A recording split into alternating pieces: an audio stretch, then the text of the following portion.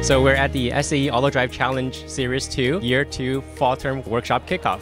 And I'm super excited to meet all the vendors, all the student teams. So I'm so excited. I'm doing system integration this year. We weren't part of the first cycle of auto drive, so we're really starting from the ground up which is a bit intimidating, but it's also a great opportunity to really develop some skills. I feel like the Series 2 is much more rigorous than the Series 1, and I feel like there are more challenges that uh, we're, in, we're encountering and we're overcoming uh, with the new sensors, new technologies. Incredible. I was like, I want to come back again and I want to be even more involved.